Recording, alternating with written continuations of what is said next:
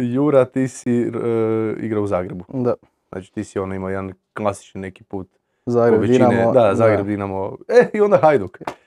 Kako je došlo do transfera iz Dinamo Hajduk? Pa eto, ne znam, taman mi je... Joža, jesi, jesi mi pripremio fotku onu? Jesam. E, molim te. Za dva minuta. Aha, Koju fotku? buš vidio. A isticao mi je ugovor taman u Dinamo.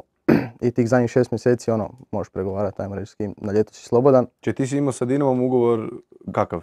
E, Stipendijski je tad bio E, još, da, okej, da. do 2018. taman šesti mjesec i on mi je isticao. I uglavnom tak su se javili iz Hajduka. Prvo je tata otišao na razgovor s njima. e, pa onda mi je on rekao to, ja sam onak, nisam bio na prvo ono kao, ne znam što, sad iz Dinama u Hajduk, ono, Da. Dinamovac sam, sve to ono, imao svoje.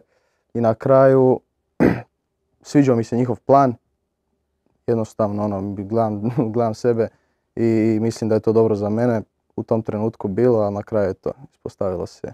Bilo je tu svašta i bolesti i svega, tako da eto. E, samo mali pogled na taj dan. Šta je sa Špikićem? Ha, Šta?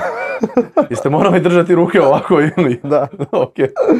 Kako je sretan bio, gledaj. Kako su mladi. A vidi meni vrat. A? Da. Da stvarno, Isuse Bože, tek sad kužim. Vrga na vratu, to od mononukleoze. Aha, ozbiljno? Mhm. A, tak sam iskužio da imam mononukleozu. Daj vrati, vrati Joža. Išao sam, Čekaj, tamo ste to htio pitat. da, da. Znači, mononukleoza je došla nakon što si potpisao za Hajduk. Ko- koliko brzo? Ona je došla. Isti dan. Pa mislim da, da. Ne, da, ja sam prije, prije meni ona bila, prije potpisa. Tu sam taman išao na potpis slikanje i onda sam se ja vraćao za Zagreb odmah. Ja sam došao samo potpisat, slikat se i Ali tad nisi znao da si bolestan ili nešto? E, u, Nije htio reći tad, znaš. Ne, ne, ne, ne. A nije, jednostavno ne znam. Išao sam na liječnički za vozački taman. Taman sam imao 18 godina, peti mjesec. I ja vidim, doktor mi kaže kao, koja, ti- ono, na liječničkom, kao, kao, kakva ti je to kvrga. Ja ono, vidim na sebi, ono, nisam iskužio. Kao odi vadi krv, kao, on meni odmah rekao mononukleoza, kao, vjerovatno ti, ja ono, pa valjda nije. I na kraju otišao vadit krv i, i taman je ono, njoj treba, ne znam, mjesec dana da, da bukne u meni, kao, Aha. ne znam. Točno i uglavnom, da. Koliko te, koliko te usporimo to? Užasno puno. A ne znam, ja evo, sigurno godinu dana nisam mogao doći malo manje, baš onaj svoj ritam neki koji sam imao prije, prije te bolesti. Jednostavno, počeo sam trenirati u taman u 10-11 mjeseci, ja mislim sam počeo lagano skroz, onda sam išao na pripreme s prvom momčadi u Tursku, ali nisam jednostavno mogao izdržati ni, ni, ni, kažem, ni 15 minuta utakmice. I tak sam, da.